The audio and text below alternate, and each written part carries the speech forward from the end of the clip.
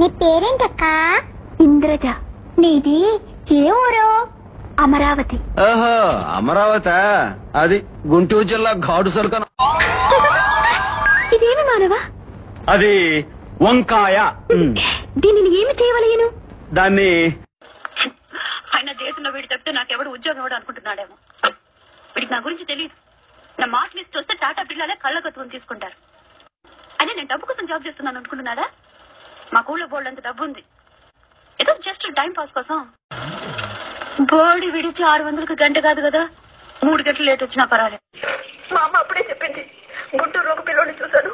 పొడి కట్టలుగా అందంగా ఉంటాడు పెళ్ళి చేసుకోమని. పెద్ద పుడిగిలాగా ఉద్యోగం చేయడానికి బయలుదేరు. ఏమిటి? పొద్దుటి నుంచి ఎదురు చూస్తున్నాను. ఫోనే లేదు. ఏమిటి? ఏమిటి విషయం? సైట్ కొడుతున్నావా? ఇదిగో చూడు. ఇదంతా నాకు నచ్చదు.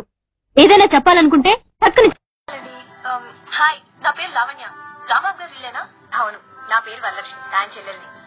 Cute name cute girl local friend thanks అక్కర్లేదు. మహేష్ కావాలి. మహేషా మహేష్ బయటికి వెళ్ళాడు. అన్నయ్యతో అనుకుంటా. మీరు మహేష్ కోసం వచ్చారా? అవును మహేష్ తను ఇక్కడికి వచ్చారని ఆనంద్ చెప్పాడు. ఆనందా? ఆనంద్ ఎవరు? ఈ పేరు ఎక్కడో మా పక్కింటి అబ్బాయిలే. మహేష్కి నన్ను ఇంట్రడ్యూస్ చేసింది ఆనందే. మీరు మహేష్కి ఏమవుతారు? నాలాంటి అందమైన అమ్మాయి మహేష్ లాంటి హ్యాండ్సమ్ ఫెలోకి ఏమవుతుంది? అక్క బాగుంటుంది.